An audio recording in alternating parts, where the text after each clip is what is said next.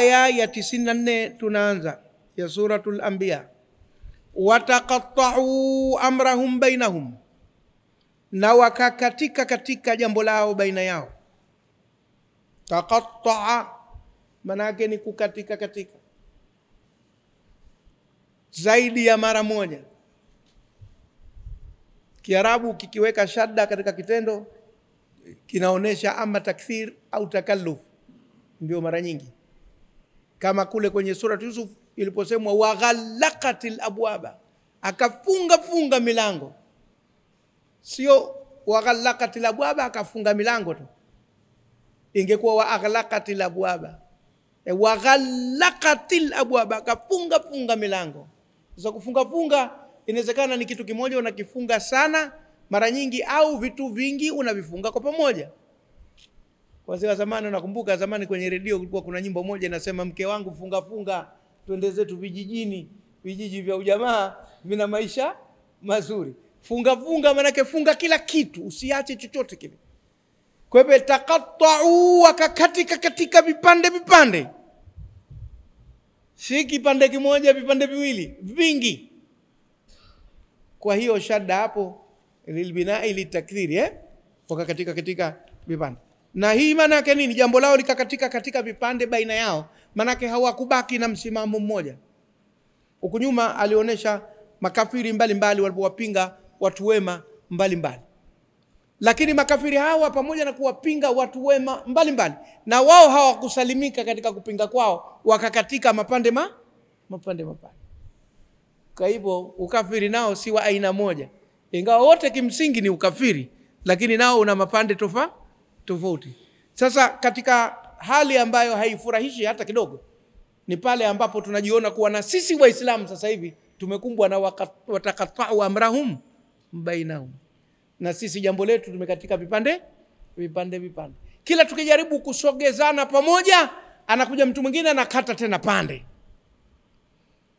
Kwa hivyo tufanye kazi kubwa sana ya kutofanana na makafiri ambao wamekatika vipande vipande na kwa sababu la wao lishaharibika basi wanatamani na letu lifanyeje?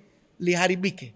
Na ndio maana wanafanya bidii sana ya kutusambaratisha. Tusiwe wamoja katika yale mambo ambayo yanatuweka pamoja se tusikae pamoja. Tuangalie zaidi yale mambo yanayotutofautisha. Yaani badala ya kumwangalia mwenzako kwamba yeye ana kichwa na wewe una kichwa unaangalia kwa kukoe kipara na wewe una nywele hamwezi kukaa pamoja. Kwani nywele na kipara na kuwa nyote mna vichwa lipi kubwa kubwa nyote mna vichwa alikuwa kipara na mwenye nywele nywele zinakaa kwenye kichwa na kipara kinakaa kwenye kichwa. Sasa mkae nyote mkiwa mna vichwa bila kujali kwamba mmoja na nywele na mwingine ni kipara. Hasa sisi tunaangalia zile sehemu za utofauti tunazikuza kuliko zile sehemu za upa za upamoja. Na wao walifika hapo uzoefu unaonyesha kuwa wao waligawika vipande vi vipande. Sasa na sisi tukienda huko itakuwa ndo yale aliosema mtume la tattabiunna sana na mankana qablakum. Mtafata nyendo za wale waliokuwa kabla kabla yenu.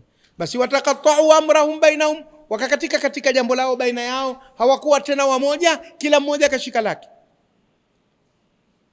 Lakini mwenyezi mungu anaweka msisitizo kullun ilaina rajiun. Wote hao kwetu ni wenye kurudi. Wakatike wasikatike waungane wasiungane lakini mwisho wote utarudi kwetu. Kwa sababu sisi ndo tulioumba. Inna lillahi wa inna ilaihi rajiun watakaporudi tutawakusanya wote kwa pamoja na tofauti zao zote walizonazo lakini tutaambia nyinyi kwa namna yoyote ile ni makafiri.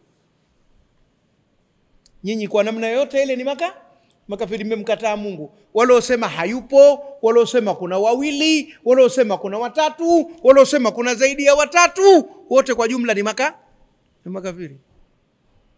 Aliyesema hakuna mungu komunisti au mulhidi yoyote aliyekataa kuwepo mungu ni kafiri na aliyesema kuna wawili zadoshti mmoja mungu wa kheri mmoja mungu wa shari mmoja mkali mmoja mpole mmoja baridi mmoja moto bado wao ni makafiri. Na wale waliosema kuna watatu kuna mwana roho mtakatifu na baba mwenyewe bado wameingia katika kundi hilo hilo kapu moja. Na wale wanaosema kuna wengi mia tatu na sitini kwa idadi ya siku za dunia kila siku iko wake maalumu nao wameingia. Wale waliosema kuna saba tu kwa idadi ya wiki wameingia alimradi kila mmoja amekuwa kafiri ndani ya kapu hilo moja kwa rangi tofauti. Sasa hata sisi waislamu badala ya kujitizama hivyo tukasema kwamba madhali tunamwamini mwenyezi mungu mmoja madhali tunamwamini mtume salamu mmoja madhali tunaamini qurani mmoja madhali tunakubaliana kibla chetu ni ki mmoja. Ibada yetu ni swala funga zaka hija na nyinginezo halafu hizi tofauti huyu kafunga mikono yule kaachia yule katikisa kidole sijui mkia wa mjusi yule kaweka ka, waipa ya gari yule mwingine sijui katoa tu moja kwa moja mwanzo mpaka mwisho eh, yule kafunga kifuani kama kola mwingine kama tai mwingine kafunga kibastola kwenye moyo mwingine kafunga mkanda kwenye tumbo lakini hawa wote ni kitu hiki kimoja. Ndani ya kapu hili moja sote ni waislamu na tu, tu, kwa upande wa pili tunatakiwa tutizamane hivyo. Kama ilivyokuwa makafiri wamekatika mapande mapande basi sisi tuungane mapande yote. Tuwe shati la bahama au la madrafti. Rangi mbalimbali mbali, lakini zote zimo ndani ya shati shati moja. Kullun ilaina rajiun wote hao kwetu watarejea kwa hivyo faman yamal min salihati basi yoyote atakayetenda katika mambo mema ndio min salihati yale yenye maslahi kwake na kwa wenzake katika hii dunia katika namna ambayo haimkasirishi mwenyezi mungu. Ndio salihati. Zaka ni katika salihati. Kwako ni jema na kwa anayepewa ni jema. Sadaka ni katika salihati. Kwako ni jema na kwa anayepewa ni ni jema. Ndoa ni katika salihati.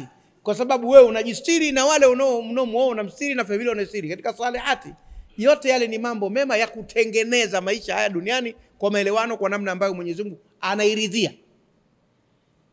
Kwa hivyo salihati isichukuliwe kusali tu na kufunga zinaingia katika salihati lakini na salihati ni mambo mengi sana. Faman yamal basi yoyote atakayetenda mina salihati katika mema wa huwa muminun. Na hali ya kuwa yeye ni mumini wa yale anayoyatenda anayafanya kwa imani. Hilo ndo sharti. Sio utende mema halafu huna imani nayo unaigaiga tu.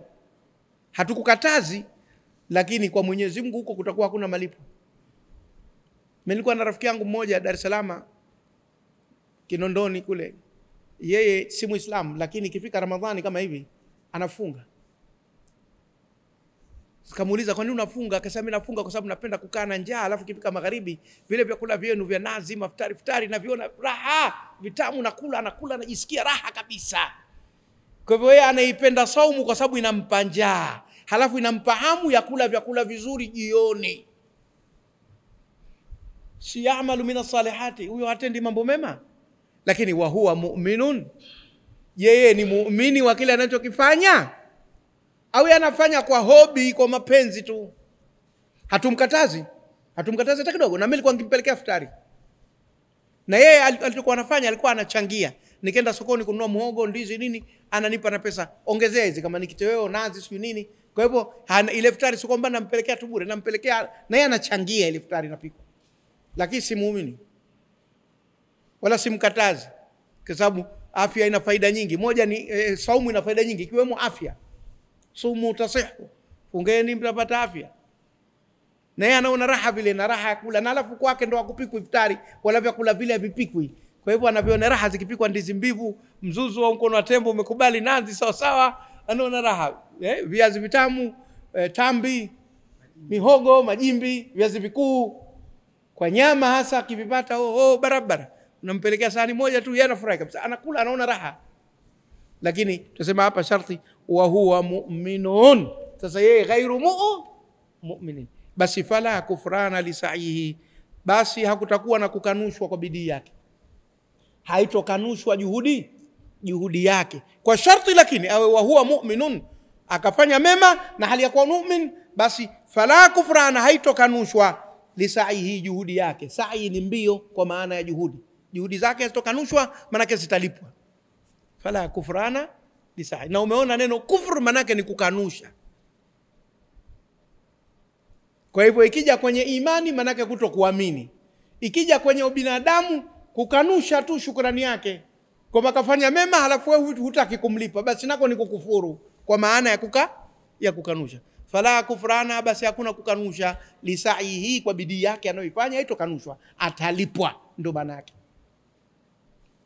Kwa hivyo la, la msingi utende mema na hali ya kuwa ni mumin. Waman yamal min alsalihati wahuwa muminun wa huwa faman yamal min alsalihati wa huwa muminun. Basi yoyote atakayetenda katika mema na hali ya kuwa ni muumini anaamini kuwa yale ni mema na anatakiwa yatende kwa imani yake fala kufrana lisaihi hakuna kukanushwa kwa juhudi yake manake mwenyezi mungu anatambua juhudi zake hizo anazofanya na inaonekana wazi kwamba kutenda mema ni juhudi. Sai ikasema lisaihi kama hujafanya bidii huwezi kuyatenda mema. Mema si automatic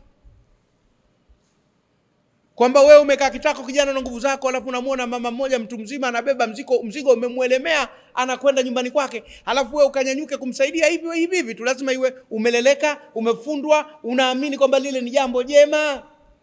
Na unajua anakwenda wapi mama? Nikusaidie mzigo. Ah basi mwanangu nishafika. Basi unapona tena unarudi unakaa kitako. Ah nimechoka kwa kweli, hebu nisaidie mpaka pale nyumba ya saba pale.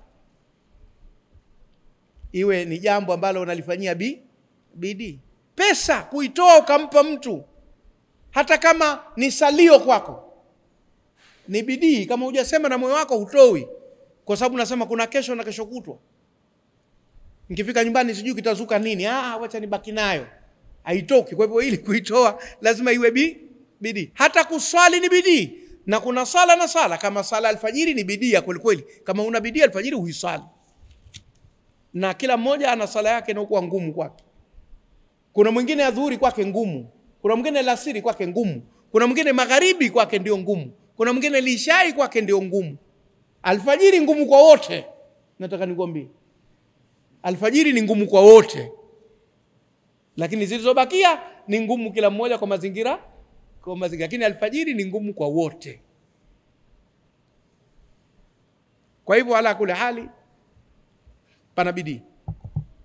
Pana bidii wa inna na hakika sisi lahu kwake katibuna ni wenye kuandika.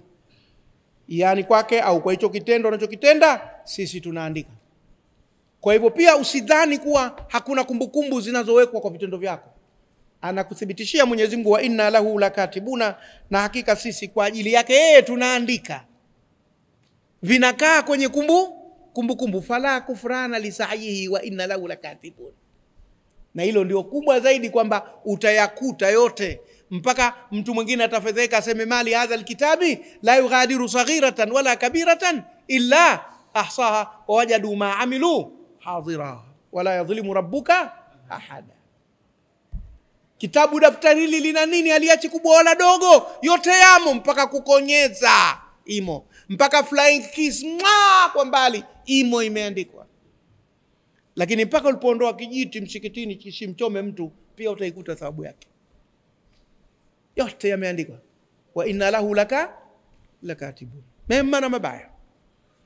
Mwenyezi mungu ajalie tuwe na nyuso changamfu wakati tunapewa mafaili yetu insha allahu taala siku ya kiama na haya tuyakute katika mema yetu ya siku ya leo na ramadhani yote insha hiyo aya ya 94 aya ya 95 wa haramun ala qaryatin ahlaknaha annahum la yarjiun. Aya hii ina maelezo kidogo. Wako makafiri waliokuwa hawaamini kabisa kuna kufufuliwa. Wasema mtu akifa ndo moja kwa moja.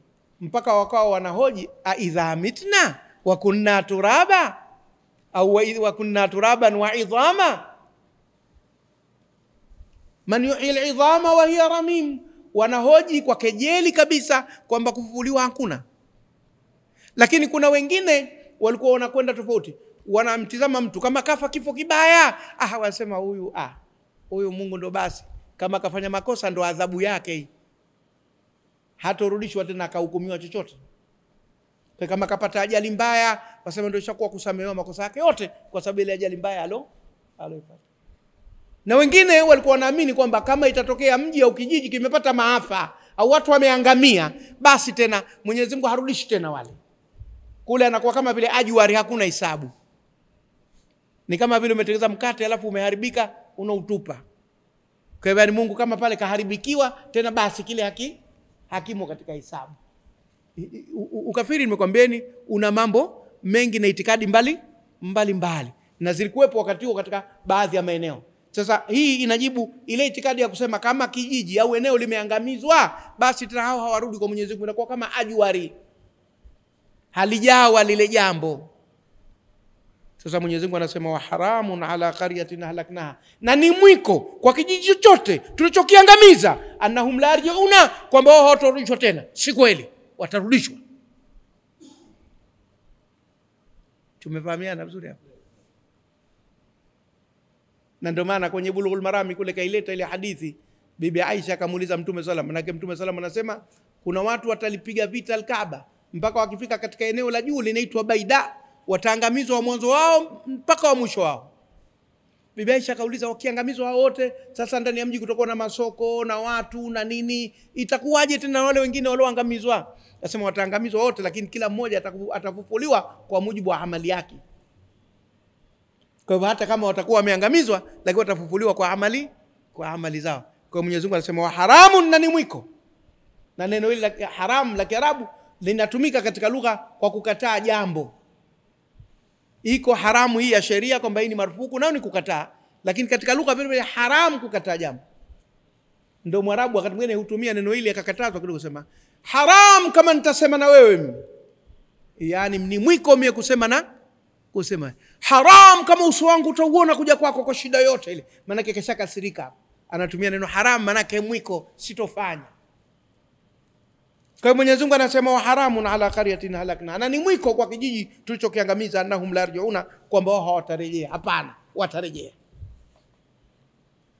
hatta idha futihat yajuju wa majuju wa hum min kulli hadabin yansilun, aya tunayokwenda nayo ya 96 hatta mpaka idha futihat yajuju wa majuju, watapo watakapofunguliwa hao yajuju na majuju inaonekana kuwa futihat wa- watakuwa wamefungwa yajuju wa majuju kwa hivyo watakapofunguliwa. neno hili yajuj wa majuju tunakutana nalo katika suratul kafi wayasalunaka an dhil qarnaini eh? imekwenda qalu ya dhal qarnaini inna yajuja wa majuja mufsiduna fil ardi fahal naj'alu laka kharjan ala an taj'ala bainana wa bainahum? Eh, qala atuni zubara alhadidi mpaka mwisho. Kwa hivyo yajuju wa majuju wanaotajwa hapa ni wale waliotajwa katika suratul kafi au hawa ni wengine? Wako wanazuoni wanasema kwa hili neno hata idha futihat mpaka watakapofunguliwa ina maana wapo wamefungwa na kwamba itachukua muda alafu watafunguliwa. Kwa hivyo yajuju wa majuju hawa ndio wale wale waliotajwa katika sura kafi na wamefungiwa na utafika wakati mwenyezi mungu atawafungua. Aliwafungia ni dhulqarnaini maisha yote miaka ya nyuma wafasiri wa qurani wamekwenda hivyo miaka na miaka.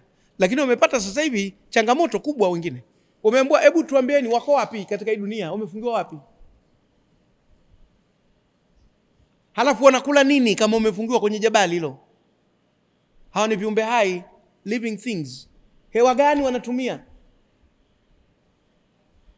Na kule aliwamwagia nini? Shaba.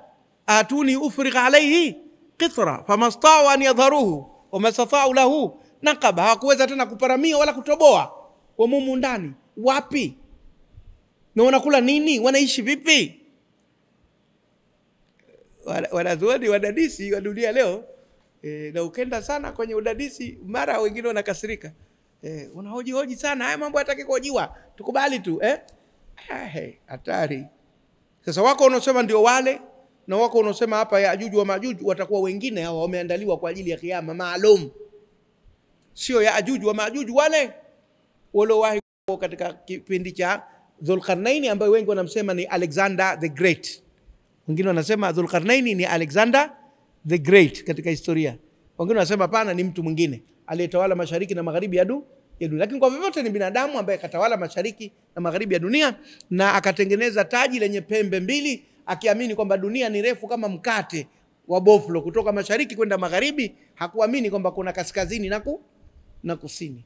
Na ndio maana safari zake zilitoka magharibi mashariki mpaka magharibi basi hakwenda kwingi kwengineko na hawa ni yajuju wa majuju wengine na hii ndio tafsiri ambayo mimi naiamini zaidi kuliko ile ya kusema hawa ndio wale wale waliokuwa katika zama za dhulqar hata idha futihat yajuju wa majuju mpaka watakapofunguliwa hawa yajuju na Majuju. na imeonekana Yajuj na Majuju ni viumbe ambao wako tofauti na binadamu katika mkao wao, lakini wanaweza kushambulia mara moja eneo wakaliharibu kwa haraka, na wanatiririka kwa wingi sana. Mithili yake ni mithili ya nzige. Nzige ni aina ya panzi, lakini panzi hawa ni tofauti na panzi wa kawaida.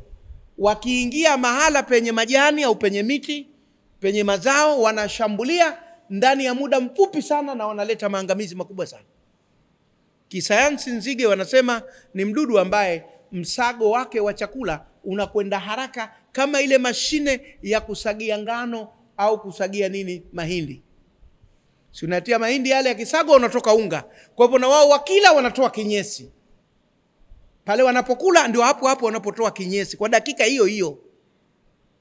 Havikai, vinapita tu vinafyonzwa. vi- vi- vi- vi- Vinavyotakiwa kubaki mwilini ni kile kilichofonzwa Matakataka na makapi yote yanatoka kwenye kinyesi, na ndio maana wakivamia mahala, wakishambulia ndani ya dakika tano, ukenda we kinyesi, weshamaliza kazi.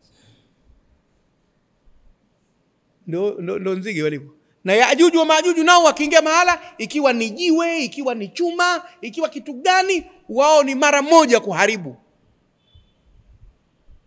Sasa kule ndo Dhulkarnaini akasema chuma pamoja na rojo rojo la shaba, kwa sababu shaba ni ngumu, hawawezi kuito kuitoboa kwa kesi ile ya kule.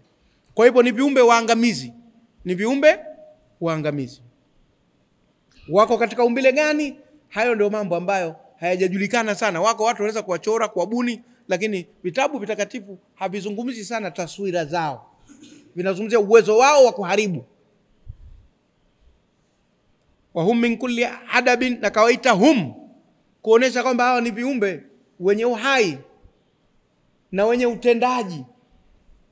Wahum, na wao min kulli adabin, kutoka kwenye kila muinuko, yansiluna, wanamiminika kutoka kwenye kila mwinuko, wanamiminika, yani wanatoka juu kwenye vilima wanashuka zao chini, wanaporomoka. Kila kwenye muinuko wanamiminika. Hadab ni kitu kilichoinuka. Hata kibiongo kwa Kiarabu kinaitwa hadab, na mtu akiwa na kibiongo anaitwa ahdab, kwa sababu sehemu ya mgongo wake nini, kainuka.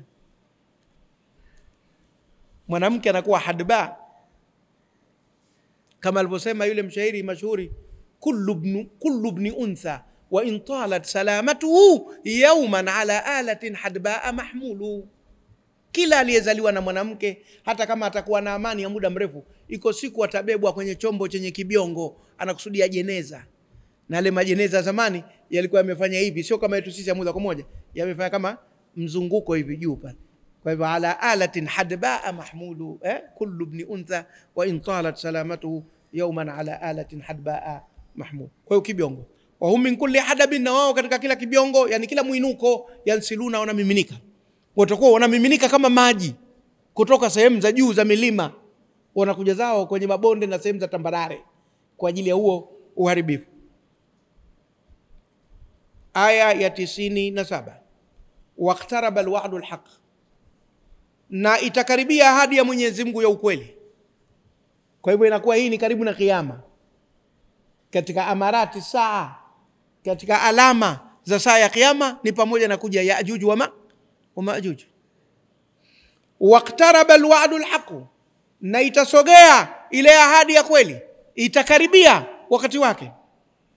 Fa idha hiya, basi tahamaki hayo, shakhisatun, yamekodoka, absaru, macho, alladhina kafaru, ya wale waliokufuru. Fa idha hiya, idha inaitwa alfujaia, idha ya kushtukizia. Kiwazee wa zamani sema basi tahamaki, au mara ghafla, mara ghafla. Fa idha hiya, mara ghafla, hayo. Ab shakhisatun, yamekodoka, yametoka yote nje, kodo. Absaru, macho, alladhina kafaru, wale waliokufuru. Do kawasema makafiri watakodoka macho, yani macho yatawatoka kwa kuona jamaa hawa wanaporomoka kutoka kila mahala, lile lililoahidiwa limesemwa kule, tukalikanusha. Muislamu hatoshughulika sana, au mtu aliyekuwa na imani kamili atajua kwamba ndio kiama, lakini hatoingia fasaha kubwa. Utaona huko mbele ziko aya zinazungumzia habari za fasaha za namna hiyo. Maanake kafiri lazima iwe na fasaha. Kwanza hakutegemea kama kitatokea kiama, lakini pili, kwake yeye si kizuri hata kidogo, anajijua alivyo. Kwa hivyo lazima afedheke. Ni sawa na mtoto mwanafunzi ambaye hadurusu masomo yake vizuri, alafu siku kaingia asubuhi darasani, kakambwa, haya madaftari wekeni kule na mikoba yenu, testi, jaribio leo. Kila mmoja aliokuwa hafanyi vizuri masomo anaomba kwenda chooni. Mwalimu, nataka kwenda kujisaidia. Kitamtoka, si cha kumtoka, kitamtoka kwa sababu hakujiandaa, hayuko katika utaratibu. Tumefahamiana vizuri hapo? Au sawa sawa na mtu kaingia hoteli na ni mlafi, kaagiza vyakula, kamaliza, anatakiwa kulipa, anatazama mfukoni, kumbe pochi watu washachomoa Dar es Salaam. Hey, ye, ataniamini nani hapa mimi? fadha yake inakuwa kubwa. Kwa hivyo atakuwa na hali mbaya ya kisaikolojia, Faidha hiya, basi tahamaki au ghafla au mara hayo shakhisatun, yamekodoka yametoka nje, absaru, macho alladhina kafaru, ya wale waliokufuru. Watasema hivi, ya wailana, ole wetu sisi, tumekwisha.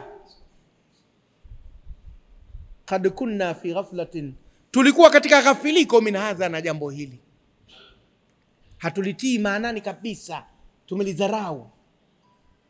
Ya wailana, maneno haya ya wailana, ya waili ukiwa peke yako, ya wailana ukiwa na wenzako, ni maneno ya kusikitikia jambo ambalo ni la hatari na linakuja mbele yako na huna uwezo wa kulizuia. Wailun likulli humazatin wailun likulli afakin athim, ole wake ya wailana, ole wetu sisi. Na wako wengine katika Kiswahili wanasema wele wetu. Wale watu wa Pemba wengine wanasema weleo jini Nkoma, weleo gego eh? weleo eh, we, ole wako, ole. Ole, manake ni neno la tahadhari na neno la kitisho, na likitumika kwa a ola, manake ona, ola manake ona, na hiyo inatumika sana katika lahaja na baadhi ya lugha za pwani ya Tanzania bara. Ola, lola, rora inatumika kwa maana ya kuona, lakini ole wetu sisi, wele wetu sisi, kad kunna, hakika tulikuwa fi ghaflati min hadha, katika ghafiliko na jambo hili, hatukulitilia maanani hili jambo la Kiyama. Sasa ndo hili limetokea. Bal kunna dhalimin, tena tulikuwa madhalim. Bal inaongeza zaidi ile bal hapa inaongeza lile la mbele ndio kubwa kuliko la nini la mwanzo. Bal kunna, tena tulikuwa sisi dhalimina, madhalim. Watu wa Mombasa na hata baadhi ya watu wa Tanga wanaitafsiri hivyo, bali bali sisi tulikuwa madhalim. Vile vile tukwao bali inatumika inaleta maana hiyo hiyo. Aliimba yule mtu wa Tanga akasema, bali tajikaba nifilie mbali, yani bali yake tena nitakalolifanya huko mbele litakuwa kubwa kuliko lile la la mwanzo. Bal kunna dhalimina, tena tulikuwa madhalimu sisi, tunamdhulumu Mwenyezi Mungu kwa kumshirikisha. Inatumika kwamba inna dhulma la, inna shirka la dhulmun adhim, tunadhulumu sisi kwa kumshirikisha Mwenyezi Mungu. Manake hatumpi haki haki yake, sio manake kwa Mwenyezi Mungu anapungukiwa kitu ana a ikitumika hiyo manake kwamba inna shirka la dhulmun adhim, yani tunaji wakati mwingine inakuja tunajidhulumu wenyewe kwa kumshirikisha Mwenyezi Mungu. Hilo la kwanza, lakini la pili, dhulma katika vitendo vya kila siku. Tukifanya, na inaonyesha wazi kwamba dhulma ni kosa kubwa sana, mpaka wanalitaja hawa kwa kuliainisha wakati washajua kuwa wanakwenda motoni. Dhulma ya kiitikadi na dhulma ya kivitendo. Dhulma ya kiitikadi ni kuabudu asiyekuwa Allah, kumshirikisha Allah. Ni dhulma za kiitikadi na ziko za aina yake mbalimbali, na dhulma ya vitendo. Zote ni kubwa sana, na wanazisema kwa hizi ni sababu. Mwenyezi Mungu anawaambia wao wanapapatika, lakini Mwenyezi Mungu anazungumza kwa utulivu zaidi, na wengine wanasema malaika ndio anayesema kwa niaba ya Mwenyezi Mungu, na wengine wanasema anasema mwenyewe Mwenyezi Mungu katika wafasiri itakavyokuwa, lakini la msingi wataambiwa hivi, innakum wama taabuduna min dunillahi. Hakika nyinyi na mnavyoviabudu dhidi ya Mwenyezi Mungu, hasabu jahannama, changarawe za moto wa Jahannam. hasabu ni changarawe mawe magumu ndio hasab. An yursila alaikum hasiba. Kukurushieni kukutumieni nyinyi changarawe. Changarawe ni mawe magumu magumu. Huku kwetu yanapatikana zaidi kwenye ufukwe wa bahari. Lakini wao Arabu hata majangwani. Unaweza kuikuta changarawe ukafikiri kiazi mbatata. Bonge la changarawe si la mchezo, sipo changarawe. Na nyingine wanajengea nyumba wao, zinakuwa ni sehemu ya ujenzi wa nyumba. Siku hizi hata picha watu picha kubwa hivi wana, wanatia frame alafu wanaweka changa changarawe pengine pembeni umwa ukombe za pwani zile eh? Kila mmoja na namna na namna yake. Basi akasema innakum wama taabuduna min duni llahi hasabu jahannam, hakika nyinyi na mnavyoviabudu zile Mwenyezi Mungu ni changarawe za motoni. Ndo kule wakuduha nnasu wal walhijara. Kwa hivyo nyinyi mtakwenda kuingia motoni. Antum nyinyi laha, kwenye hiyo jahannama wariduna, mtaingia. Mtauendea moto wa jahannam. Antum laha wariduna, nyinyi huo moto wa jahannam au hiyo jahannamu mtaiingia, hakuna kurudi nyuma. Mtapelekwa mtake mstake, hakuna kutoroka. wanasuku lmujrimina ila jahannama wirda,